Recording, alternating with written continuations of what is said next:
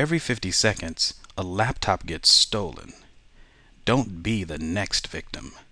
You need to get miTracker. With miTracker, you can not only recover a stolen laptop, but you can protect your private information remotely so thieves can't access it. Here's how miTracker works. And that brings us to step one, where we're going to run miTracker and start to protect our laptop and data. Now miTracker has a simplistic interface which is easy to operate. From the main interface, you can see clearly that miTracker is composed of local features and cloud-based functions.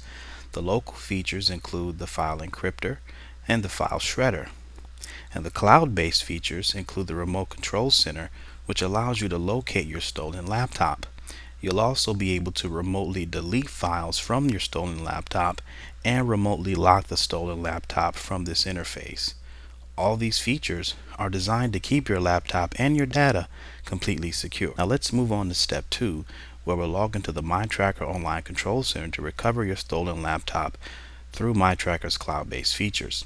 When your laptop has been lost or stolen, you'll need the cloud-based features to help you recover the laptop and protect the data stored in it.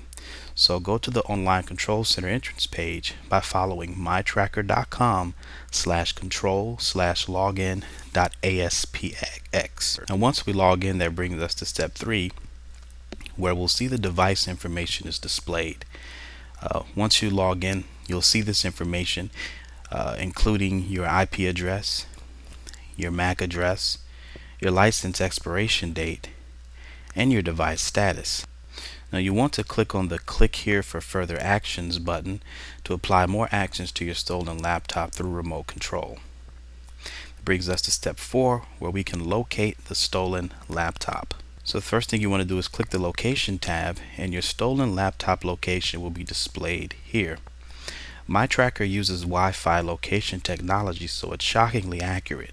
You'll be able to see your location information right here uh, in the form of a Google map and this will help local authorities to track down your stolen laptop. Now let's move on to step 5 where we're going to remotely lock down the stolen laptop. First you want to turn on the missing button. This is the main switch. Then you want to turn on the lock button.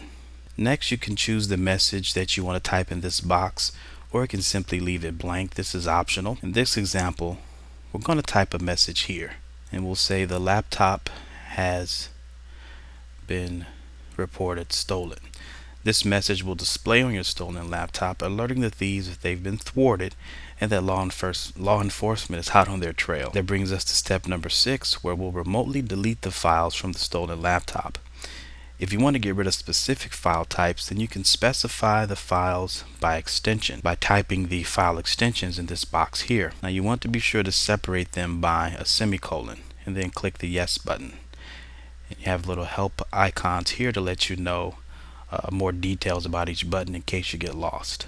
You can also set preset files to yes in order to delete files which are encrypted by miTracker's local file encryption feature. Some standard file types can also be deleted remotely, such as all Microsoft Office file extensions, common file types, PDF, TXT, etc., as well as web browser caches, image files, and compressed file types. Make sure the missing button is turned on, then click the ones you want. And if all is to your liking, you can click Save Changes, and after several seconds, the lost computer will be locked down immediately.